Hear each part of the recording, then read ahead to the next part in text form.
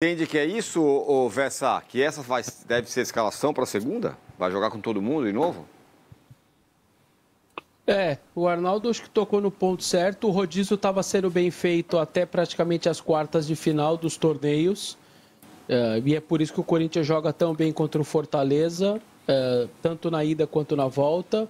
Contra o Coritiba e contra o Red Bull, por exemplo. Só que ele se perde mesmo. Quando ele viu a, a, os títulos mais perto, ele começa a pôr os caras o tempo inteiro, não quis rifar nenhuma das três. Uma não podia, né? Que é o brasileiro. E as outras duas ele também, o rifar entre aspas, né? Porque estava dando certo um tipo de rodízio, era bancar aquilo lá até o final. Hoje, ah, é o Flamengo, eu não vou pôr o garro até o final. Aconteça o que aconteceu, eu preciso descansar esse cara para as outras duas. Não, mas ia lá, punha um pouco, ou punha de titular e tentava tirar, e ele acabou se perdendo. Eu acho que a decisão para segunda-feira não vai ser técnica.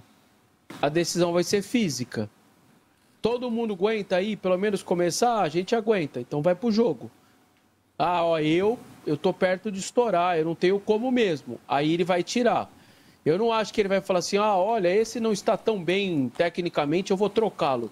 Eu não acho que ele vai fazer.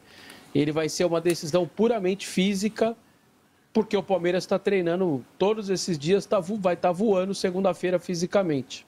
E quando, quando a questão física é preponderante, é, a questão física de um atleta, qualquer atleta, ela está muito ligada à questão emocional, né? Enquanto você tem a motivação, está olhando para lá, eu vou, vou.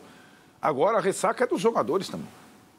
É aquela frase do Gustavo Henrique. Eu não vim para cá para lutar relato, contra o rebaixamento. E, eu vim para cá para ser campeão. E o relato do Vessone do Banco de Reservas do Pois é. é. Ele fala muita coisa. Uhum. Fala também. Então, assim, o, o, trabalho também é de uma. Olha, gente, é, é, é a virada de chave para o momento, é, nós não podemos cair. Né? Então a gente. Agora a gente não vai ganhar mais nada, o ano que vem está comprometido, mas a gente não pode cair. Né? E, e é diferente você jogar para não cair e você jogar para ser campeão. E o Corinthians estava jogando para ser campeão. O Corinthians não estava jogando para não cair. Inclusive, tecnicamente, com um time mais propositivo, tal, tal. O Corinthians tem que jogar agora para o que resta, não cair. Porque mas, né? Ou até Fala. você falava, Arnaldo, o, até você falava como as Copas ajudaram a, a levar e o ânimo e o time e aquilo foi serviu de combustível. Agora alguém foi lá, apagou com com água ali, apagou esse combustível, Exato. né? E agora vem a retomada. Vai acontecer ou não? Então, é, é porque agora só lutar contra o rebaixamento parece pouco, não deve ser mas na cabeça de um jogador profissional pode ele não ter esse entendimento e é isso que você está falando, né? Só pegar o exemplo dos rivais, né? Que eliminados nas Copas mais cedo, o Palmeiras super cedo.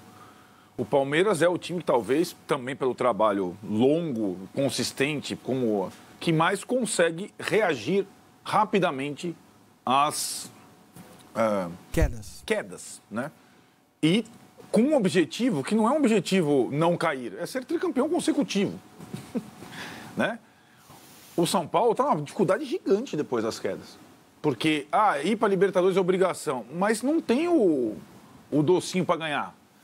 Vê o semblante do Caleri no, nos jogos pós é, Libertadores e antes da Libertadores, ou dos outros. É difícil, cada um reage de um jeito.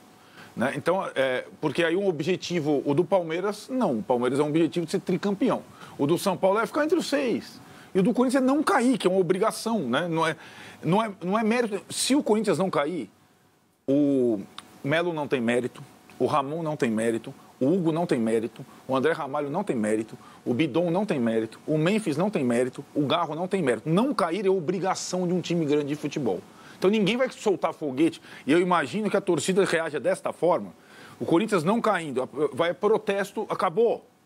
Acabou, não caiu, tá salvo. Protesto, né? Porque aí que tá, vai começar a sair todo mundo. O impeachment vai voltar do do comprado, né? Comprou cigarro, vai voltar, porque a porrada foi muito forte.